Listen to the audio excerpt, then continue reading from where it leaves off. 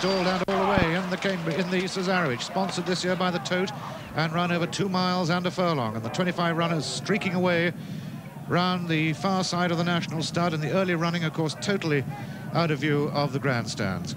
But as the, fields begin, the field begins to settle down amongst the early leaders, I can see Meadowbrook right up there.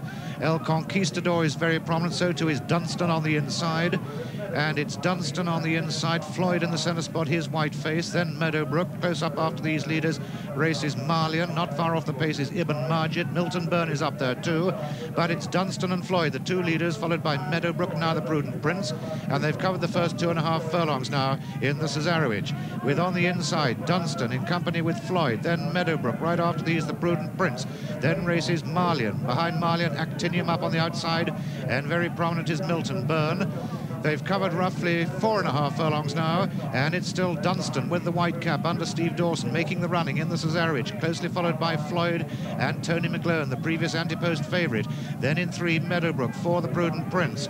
After these, five is El Conquistador, six, Marlion, seven is Actinium. And they've now covered roughly six furlongs of the Cesarewitch, and still it's Dunstan, who's made most of the running so far, number 20, followed by Floyd. On the outside with a white noseband is Meadowbrook, then comes the Prudent Prince El Conquistador, Actinium, and then Marlion on the inside, Special Vintage in the spotted white cap, then Ibn Majid, and they've now covered the first seven furlongs. So they've now got a mile and a quarter to go, and it's Dunstan, Floyd, and Meadowbrook. Still one, two, three. El Conquistador, and in the yellow with the red cap on the inside, the Prudent Prince and they're now roughly nine furlongs from the finish, so they're almost at halfway in the Tote Cesarewitch. And as they make round this railed part of the course, it's still Dunstan leading from Floyd. Dunstan, Floyd, Meadowbrook, the Prudent Prince, and El Conquistador. These are the leaders. And re reading back behind them towards the centre of the field races Orange Hill in company with Pactolus, then the second favourite sneak preview, the 17 to 2 chance, but it's Misrule, the 11 to 2 favourite, then sneak preview and Pactolus both at 17 to 2. Tens bar these three, and they're now inside the final seven furlongs. They're all racing against the far rails, and it's Floyd just from Dunstan, really nothing between these two, with Meadowbrook three, then comes the Prudent Prince Actinium and Marlion, followed by Ibn Majid, Special Vintage, Accuracy makes ground now. Still there is Milton Byrne, then Shibben making headway, Pactolus not far behind, then comes Withy Bank, Orange Hill, the favourite Misrule comes next with Fedra, and then El Conquistador, then Parry, Peggy Carolyn blinked for the first time, then Sneak Preview and Fish Pond. These are followed by Contester and Ayers Rock, and the last three, Sweet Alexandra and the two Greys Paths Sister and Harleston Lake.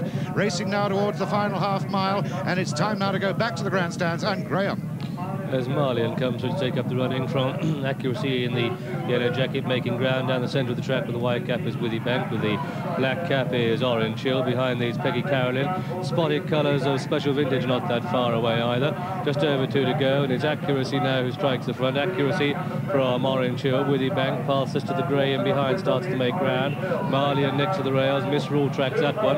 They've got a furlong and a half to go, and it's Orange Hill and Marlion and accuracy and Misrule from Peggy Carolyn Withy, Bing, Withy Bank uh, making good ground his Paths Sister.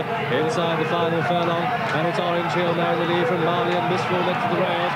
Behind these comes Accuracy and Paths Sister but it's Orange Hill in the lead as it comes toward the line. Orange Hill by half a length by a length. Orange Hill wins it. Orange Hill, Marlion and Misrule from Accuracy, Paths Sister. Then Peggy Carolyn, Withy Bank, Sweet Alexandra, Actinium, Fedra, Special Vintage Ibn Majid, Fish Pond, Ayers Rock Behind these came Milton Byrne, Contesta, Pactolus, Meadowbrook, Harleston Lake, Sneak Preview, uh, El Conquistador, Dunstan, the Prudent Prince, Floyd, and last of all, in fact, virtually pulled up, was Shibben.